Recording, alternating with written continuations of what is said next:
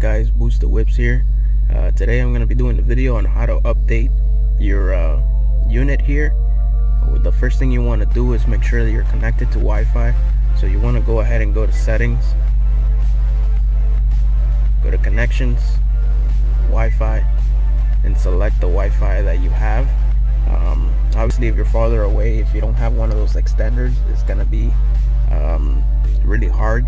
I have a mesh network so it reaches all the way through uh, through um, my driveway. So I'm already connected. I'm gonna go ahead and hit back go home. You're gonna go to system updates. You can also download it manually and put it on a USB drive and go this route. I'm gonna go via wireless. Sometimes you might have to search twice but it should automatically start downloading the uh, update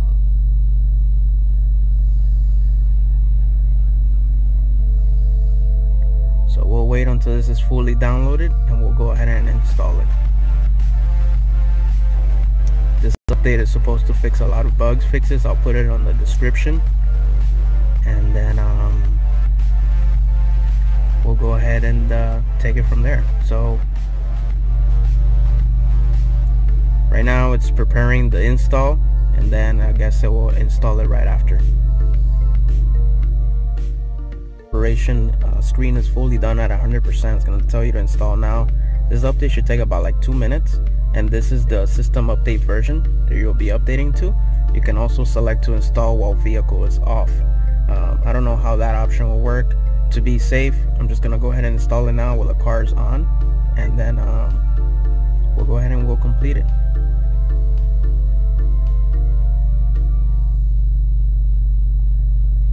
system will reboot and once it's fully rebooted that's when you'll know it's fully updated. Let's see what happens here.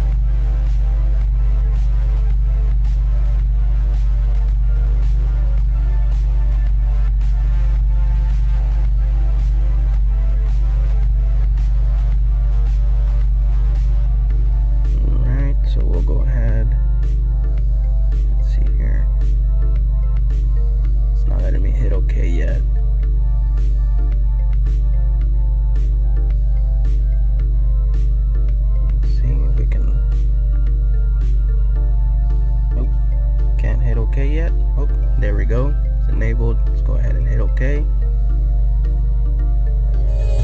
And we're back into the system here.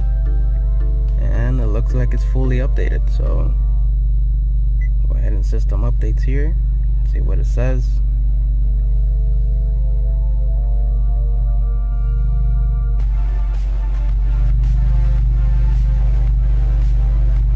I guess it's loading all the apps right now.